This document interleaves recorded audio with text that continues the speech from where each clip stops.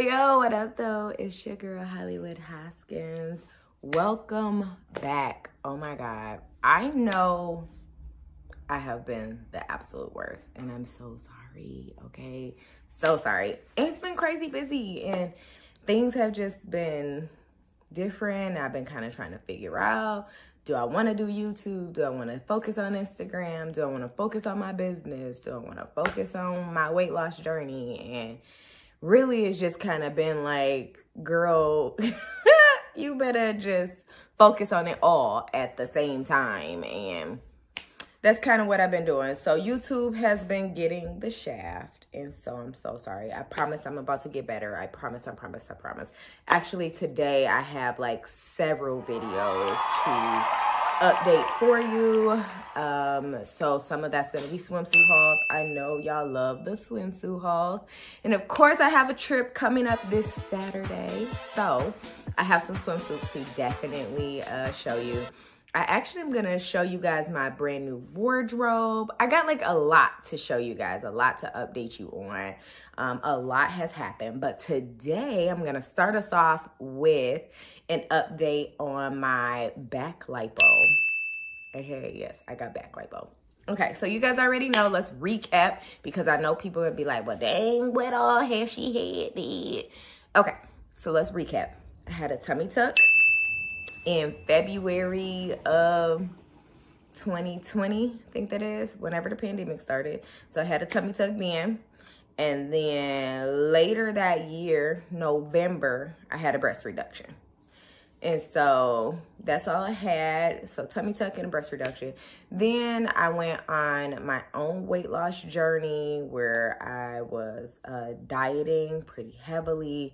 I was able to lose 70 pounds on my own, which was amazing. Just made my tummy tuck and my breast reduction look that much better. So went down from 280 down to like 217-ish. It was crazy, but um so that that was pretty cool. So my if you've been following me for at least a little bit of time then you know my weight loss journey has been very hybrid very like mix of cosmetic surgery doing the work going to the gym a little bit of more cosmetic surgery a little bit more doing the work. So it's been very very hybrid um in order for me to get the body that i love and and adore. So um so I won't say that there's been any one way that has made it be um, better or worse. I think all of the things collectively have worked together. And at every stage that I've done something, I have loved my body. It looked really good. And I just wanted to enhance it and make it better and continue to just make it better. And I think this version of me,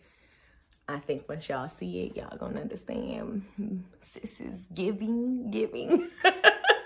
Um, and so nonetheless, I had did a lot of the work. A lot of the weight came off in my thighs, which I was not happy about because y'all know I had a size 50 inch hips. 50 inches is what my hips were. And so I'm down to a 44. So my hips are 44. So I lost about six inches on my hips which is all good. Um, that wasn't where I wanted the weight to come from. I wanted to come from my back because the back rolls was hitting heavy. Y'all don't understand. The back rolls looked like I could put them on the table for Thanksgiving. Working out, I have been doing the work, and the truth of the matter is, I felt like those were just not gonna be the things that were gonna, that's not where it was gonna come off at. Um, I might have been able to make minimal adjustments to it, but the portion of where I really hated it at, that was like some stubborn fat. So I decided to get back lipo. And I decided to go with laser lipo, which was completely different than what I was anticipating um, prior. Or like, it was completely different than anything that I had did before. Okay, so I had made a decision that I'm gonna go with laser lipo because I was like, okay, well, it's gonna be safer. You know, the algorithm was algorithming, you know, it started saying, get that back fat off of you, go to Sono Bello. And I was like, what is this? Okay, what is this? So I made an appointment to go to Sono Bello Troy, which is in Metro Detroit. Um, and I made the appointment. And when you go in, you actually don't meet with the doctor first. You meet with uh, like a practitioner manager kind of deal, like an office manager. And they're there to just kind of, one, make sure that you understand what they do, understand uh, if you even have the ability to get the surgery or not, or um, proceed with any of it, and figure out what's the best um, course of action, right? So it, it's a little bit of a gatekeeper, but as a business owner, I understand that they're kind of like flushing out some of the bullshit, okay? So they're trying to make sure that before they even get you in there with their doctors, One eternity later. Okay. So I met with them and they saw right off the bat how serious I was. They was like, oh, sis is serious. I was like, look, I went in with a number in mind that if they could do it for that number, then uh, I would go ahead and move forward with it. Now, the initial number they gave me was higher than where I wanted to be. They base it off BMI. They're pretty straight to the point, pretty flat out. Like, your BMI is this, you want this area done, this is the price. So um, it was pretty like formula driven, pretty simple and easy. And so um, my BMI is like 36 or something like that. And so in order to get like one area done, which was my bra line, it was far beyond where I wanted to be. I was like, yeah, no, it's a no for me. So I talked to the doctor. So she went and talked to the doctor. Then the doctor came in and was like, well, let me look and see before y'all get to talk about you coming in in four days. Like, let me figure out if that even makes sense. And so he looked at my back and he was like, I could understand why you would want to get rid of this. I'm like holding about three inches worth of fat. So I could see why you want to get rid of it. He was like, you know, your body is very, very contoured um, and very shapely and curvy. And so I could see why you want to get rid of it. And so he was like, but in all honesty, if I just did your bra line, the waistline and your upper back is going to become more pronounced. And so in my opinion, you actually should hit all three or else it won't look that good.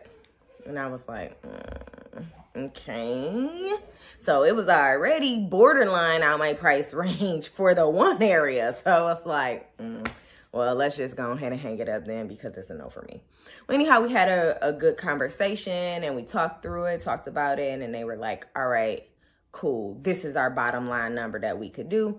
And they actually have pretty awesome um, payment plans, which I thought was really cool. So they offer Alphaeon and Care Credit Alphaeon's credit, um, the interest rate was only like 10% or something like that. It, it, was something really, really low, like even lower than a credit card. So I thought that that was actually really good. So the payment plan ended up being somewhere around like a $100 a month. I'm not bullshitting y'all. Y'all know I don't talk numbers because because I don't want you going in like, oh, we were on Hollywood's channel and she told us that you could do it for $2,000. No, I don't need y'all going in there harassing my doctors like that. So whatever your price going to be your price, but I can only give you like my experience. So we were able to get the payment plan somewhere around like a hundred and twenty bucks a month. And I was like, to to get rid of these back rolls, $120 a month, I'm down. Sign me up. Let's do it. Next Tuesday, you want me to come in? And so that's what happened. So I came in that following Tuesday. Okay. My opinion. They do the procedure right inside of their office um, and it is performed by a cosmetic surgeon, a actual doctor, not like a nurse or anything like that. Um, and so, and you're awake during the process. Okay. Now I'm gonna give y'all some compare and contrast right here because this part was very, very different for me. Tummy tuck, breast reduction, they put you to sleep, they slice you up, do all that they're gonna do.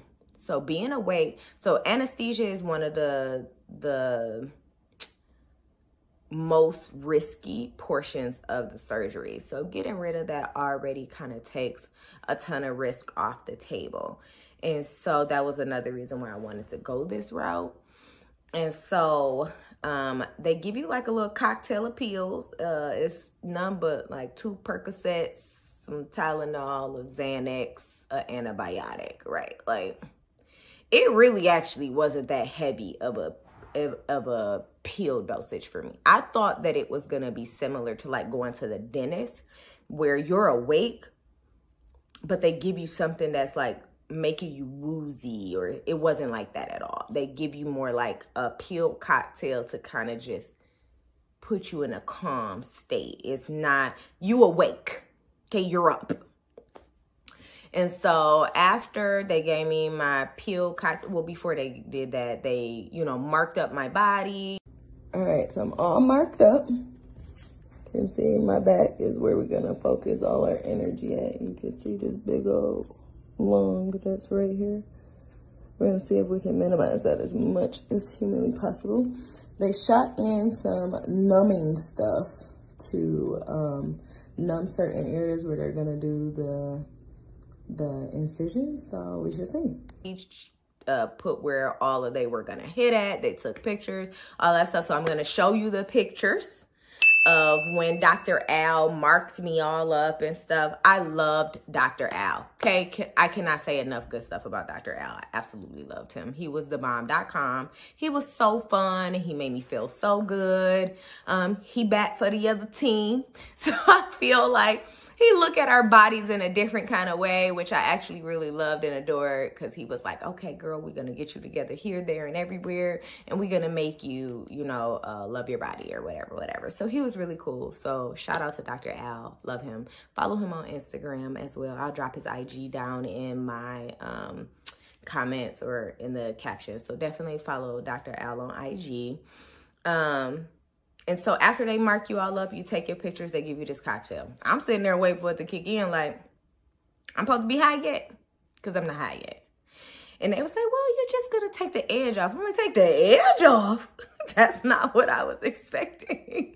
and so then they like stab you in a couple spots where they're going to um, go in at and they numb those areas, right? So they're putting some type of saline or something in to numb those spots.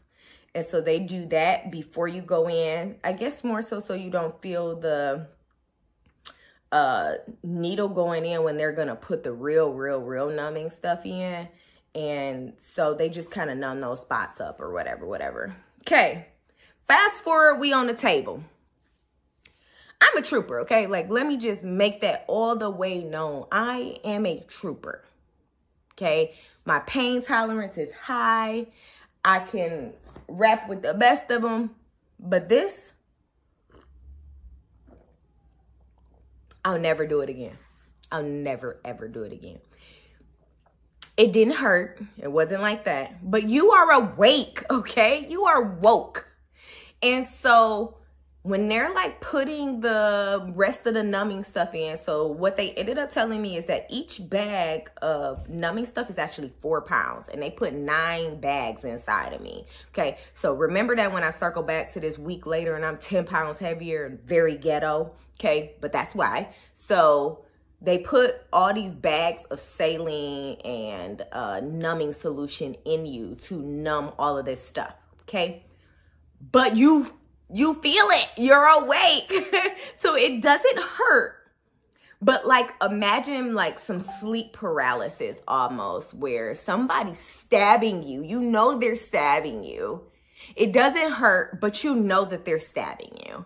And so that was where my mental process was was I'm laying on this table and I can feel the jabs, feel it. Like they're not painful, but I can I can feel it. Okay? So I think if they didn't give me the Xanax, I would have jumped off the table because my nerves were just like, oh my God, am I paying for him to kill me? I'm laying here and I'm letting him kill me.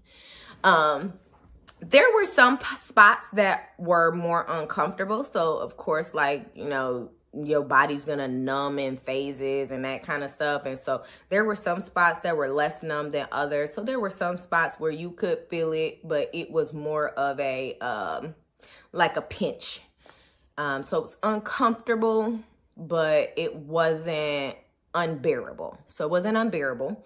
Um, and Dr. Al and my nurse, they were super sweet. They're like, You're doing so good. Oh my God. Like, we're almost there. I can see your waistline contouring. It's looking great. so they're affirming me the whole way because I'm like, Oh, ah, mm, oh my God. Oh my God. Oh my God. Mm. I can't. Get out. Oh my So God. the the procedure itself was interesting. I feel like it only lasted maybe like 20, 25 minutes. It wasn't that long. It didn't take that long. And so I'm going to show you how much they got out in that amount of time. So like two big old things worth of fat. Like it was a lot that he got out in that time frame. And so, um, so yeah, so that part is like really, really dope that I got to see like the fat afterwards. Like you slide off the table, you walk out the room. It's like, it's really interesting to have a procedure like that done and really genuinely be awake and like alert and going afterwards. And so, um, so yeah, so that is kind of how that part went. Um, and then afterwards, they like bandage you up and they put on your uh, compression garment, which in my opinion didn't really compress um, too much. It was more like a light compression, more to like kind of hold you in, I guess. Now, I'm hippie and I got a lot of thighs and a lot of booty. So for me, I felt like it was compressing on some certain spots and not on others, but it felt like it was about to cut my hip off. And so I actually feel like I they had to order me a custom size because of how I'm shaped. So I had to get a custom one or whatever, whatever. But you know, that's all good. That's neither here nor there. So they don't let you drive home. Someone has to come and pick you up because they didn't drop perks in you and all of this stuff. And plus, to be honest, you don't really want to drive home because you are kind of in some pain. So one of the questions that I've been getting a lot is what is the pain level? How much pain it is. First and foremost, I tell everybody who if that's your first question to me, you shouldn't be getting no procedure done nowhere because if you are like, is it gonna hurt? Like they're slicing your body up. Of course it's gonna hurt. What you mean? Yeah, it hurts. It it yeah. Yeah. I ain't gonna lie to you. It, it hurt. It don't feel good, okay? Does not feel good. So um I go home. Um I rest up. I'm I'm able to still kind of walk around, do what I need to do. I'm a little groggy, but I'm not, you know, out of it or anything like that. Now the next day I feel like I got hit by a Mack truck. So I feel like day two is a little rough. Now they give you quite a bit of um, stuff to take the the edge off. I feel like they do give you a sufficient amount of medicine. So I I had some codeine. I had muscle relaxers. Um, I had Zofran for nausea. They gave me some holistic stuff to help with bruising and stuff like that. So I feel like they covered a lot of ground as far as medicine goes to make sure that you were comfortable. And I do feel like that helped. So day two was rougher than all of the days, in my opinion.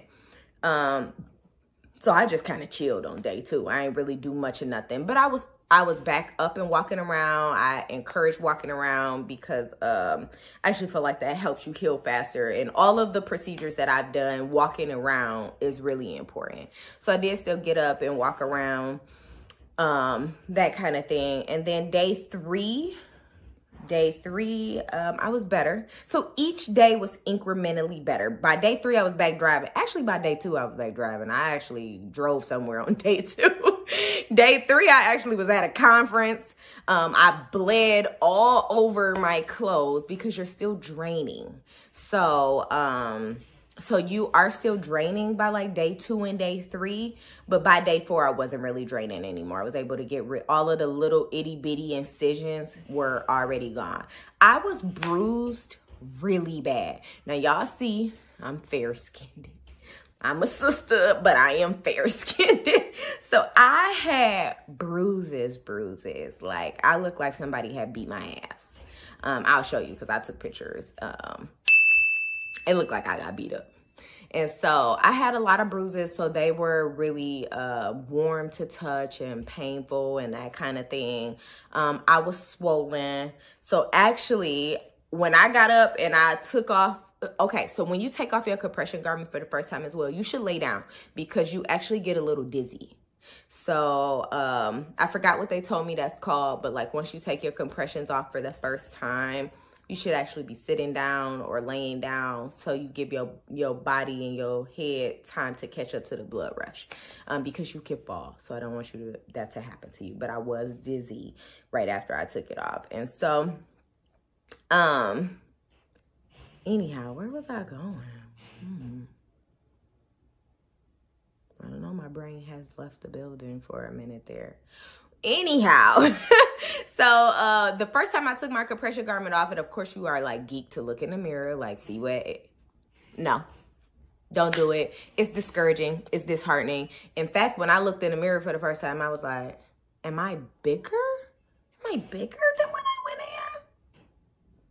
I gotta be bigger because this is ghetto. Like what the and so then i got on a scale. Oh don't get on the scale, okay? So I went into this procedure at 219. When I got on the scale, it's 229. 229. Oh my God. The heartbreak that sunk into my body when I saw the scale. It's perfectly normal. A lot of the fluid is still inside of you. It's perfectly normal to be heavier. It's perfectly normal to be swollen. It's perfectly normal to not see the results right away it is disheartening though. Like, I'm not even gonna lie to you. So, yes, I was like, this was some bush. I was I was real not happy the first couple days. Um, and so then you start to see it like I could start to see where some of the swelling starting to go down, where I'm starting to see some of the contour at. I'm starting to see it a little bit, but for the most part, it's only been seven days, so this is day seven. Um, so I wanted to get y'all this update in quick and, and get it to you because I'm going to plan on giving you updates every two weeks because I hear that over the next six to eight weeks, I'm going to see it go down dramatically. They do expect that I should be smaller than the 219 once it's all said and done. But I actually thought that it was like pretty quick in the results. It's actually not. They said that six to eight weeks, you usually are able to see what's been done. But actually like all the way into three months, you might still continuously be seeing um, some of the effects. Um, so it's not an immediate thing at all. And so nonetheless, so I'm still heavier right now you can't really truly see the difference. I'm going to show you some before and after so that you can kind of see the day that I was in the doctor's office and then my one week follow up for my my checkup. It's not a big difference. In fact, it almost looks the same, maybe a little bit worse, maybe a little bit better in some spots. Um, but it, it definitely is not showing yet. Now, I leave to go out the country on Saturday. So I am drinking my water. I ordered me some comfrey oil. Um, I am doing more compressions, drinking my lemon water, and just trying to stay hydrated and I'm doing some cold compresses so that I can get some of the swelling to go down because I'm pretty swollen actually. And so I'm also supposed to go get a lymphatic drainage massage because I can feel the pockets um, of liquid. So you can you can feel it too in some of the spots. And so I'm trying to get that to drain as well. So they definitely were like a lymphatic drainage massage would be good. Um, so yeah, so I'm going to definitely show y'all some pictures and some videos, but I'm gonna also post you a swimsuit haul that I did like day five of the surgery. So during the surgery, I mean, well, during this week, I also got some swimsuits and I did the haul swollen and all. So you're gonna see even still, I think since my last YouTube video, you guys will see my body has dramatically changed um, since my last YouTube video. I think my last YouTube video, you guys, I was at 245 still. So I haven't talked to you guys in a long time, man. And I hate that. But I'm going to do better, okay? I swear I'm to do better. So um, my body has changed a lot since the last YouTube haul that you guys have seen. So um, the swimsuits that I'm going to show you from uh, Shein that I did recently, they're actually during this week when I'm still swollen and stuff. So I'm hoping to be able to show you another haul in another week so you can kind of see my clothes fitting a little differently and that kind of thing. So I'm working on those things and I'm going to be posting them within the next week or so. Um, but as of right now, that's kind of where we're at with things. And so just stay tuned, rock with me. I got you. We're going to get better at posting videos on a regular basis. I know y'all love me. I miss y'all too. So it's coming, but um, I'm to drop some some pictures for you to be able to see for the next video. And I'm hoping to be able to post that next week. All right. Thanks for rocking with your girl Hollywood. I look forward to talking to you guys soon. Peace out.